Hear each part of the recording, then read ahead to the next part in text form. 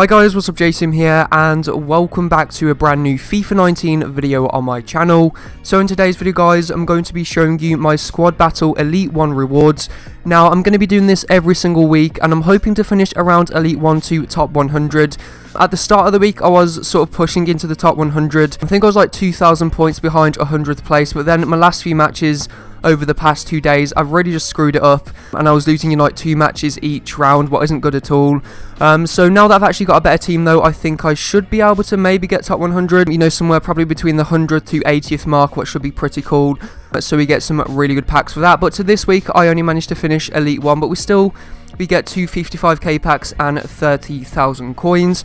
So in the first pack there, as you can see, we go and get Benjamin Mendy, who sells for around 15,000 coins, what isn't too bad especially for the start of the game. And then in the next pack here, as you can see, we open it up. Um, the boards pop out. And then we get Brazilian centre-back, and it is Naldo from Schalke. Now, this guy is actually very good this year.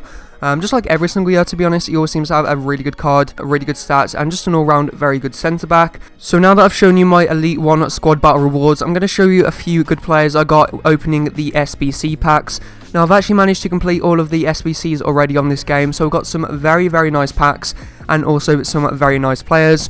So guys, this is going to be the end of the video. I'm now just going to play music over the packs because, you know, there's not really any point of me talking over them. So guys, I hope you enjoyed this video. If you do, leave a like on the video and comment down below who your best pack on FIFA 19 is so far. So guys, this has been the video. Thanks for watching and see you next time.